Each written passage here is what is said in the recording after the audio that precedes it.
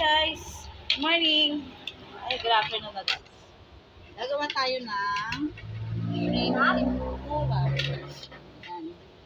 Ito ang ating mga ingredients. Itlog, breadcrumbs,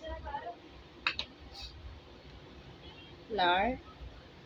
Mas okay sana kung meron tayong ano, corn flour. Kaya lang konti na lang. Mas ano kasi yun siya, para mas malutong. Tempura ala jinkay lang yan. So, kung ano lang yung meron sa bahay. Ating mga ingredients na. Salt, tsaka ano, pepper. Siya. Hindi ko na tinanggal to kasi mas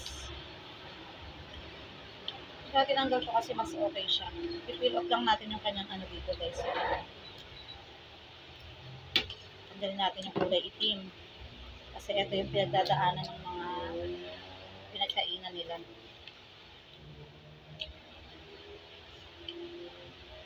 Ayan yung mga pinagdaanan ng pinagkakainan nila. Madumi yan guys. Madumi.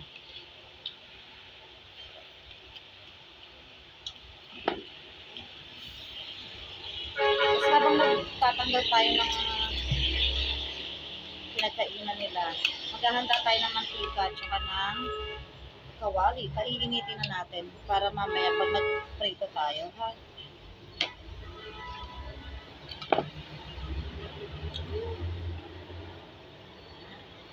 Kailangan talaga siya tanggalin kasi madumi. Ilan na lang, 10 peraso lang naman. Tira lang ko sa ginawa kong ano, sinigang na hipon. Ayan. Sinigang na hipon. Siya talaga yung ano eh, number one na pares ng sabaw. Iyapa. Guys. Guys ha. Tapusin lang natin ito. Siyan, ano masasabi mo sa ulam mo, Siyan? Nagtago. Ito. Ito po yung mga tira lang sa amin, sinigang na hipon. Nag-separate talaga ako para ma-test. Ayan na siya guys. Tapos na siya guys. Ito na siya. 10 peraso. Ngayon, mimix na natin. Ito yung itlog. Yan, lalagyan natin siya ng, ito yung natira kong flour. Actually, wala nang 1 tablespoon. Corn flour.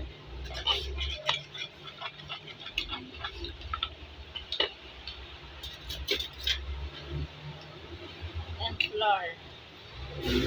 Regular flour lang po. Ito na yung mga flour na nabibili sa palengke.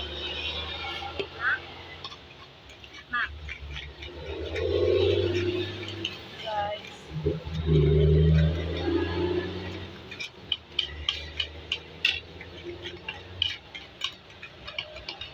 Yan mamaya lalagyan na natin siya ng ano. Salt tsaka pepper. Ano ba please?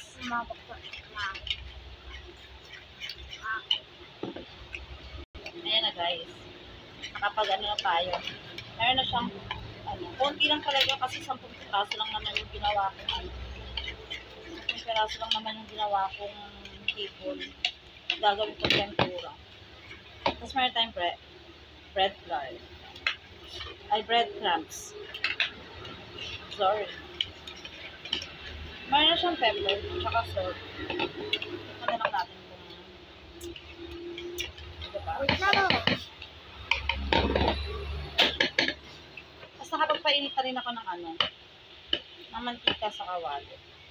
Ang kailangan na lang gawin, dahil pangkain lang naman ito kakamayin. Kami-kami lang din naman pangkain yan. Ayan siya guys. Hindi talaga tinanggal yung ulo para mas okay. Then, iaano natin siya sa breadcrumbs. Yan.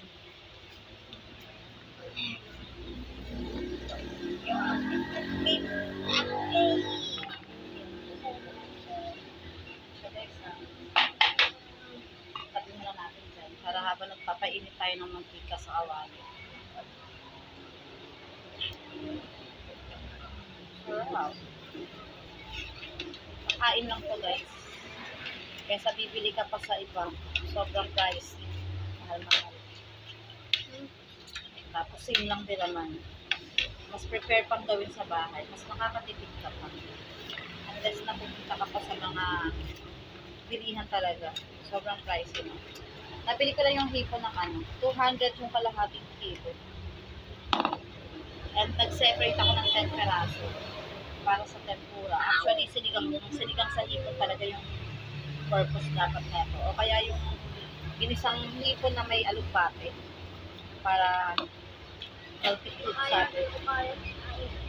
And guys, Ituhin na lang yan siya. mga fried shrimp. Lahat lang ako ng Fried pesa. shrimp yan. Fried shrimp. Kasi ang peraso lang talaga po guys. Kaya kailangan tagtatansya lang yung ating ano mixture.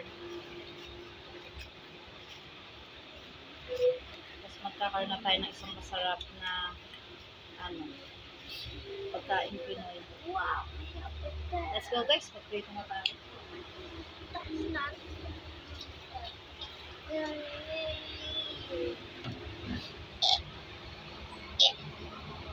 Ayan na yung ating kawali guys, mainit na. Tatagay na natin yung ating hipon. Dali lang maluto yan guys.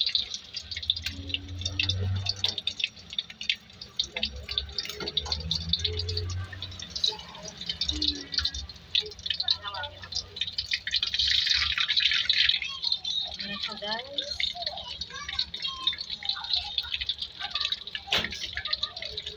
Madali lang siya maluto actually.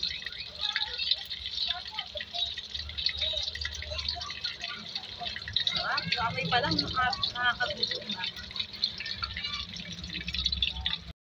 Ano talaga siya kung may breadcrumbs guys. Saka corn flour sana.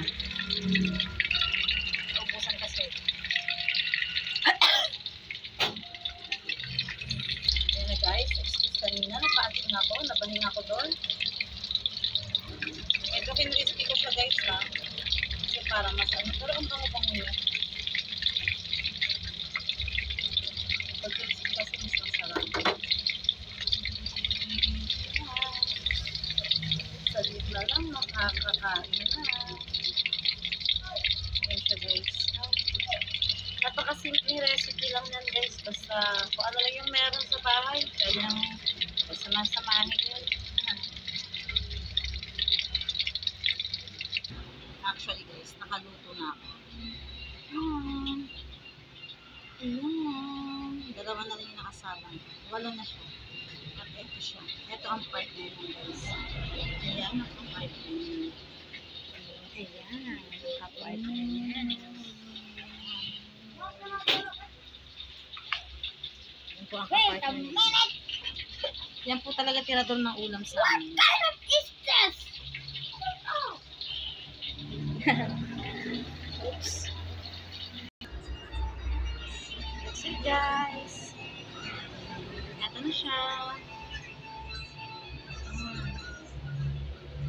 Tsaka yung aming hipon.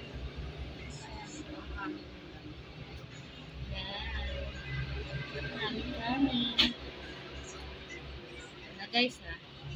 Ito na ang finished product ng ating shrimp tempura version po natin yan. Medyo sunog kasi mas spet nila yan. Kesa dun sa medyo, yeah, ano pa siya, light ang yung pagkaka-orange niya. Yan. Ha? Kaya tayo guys. Bye!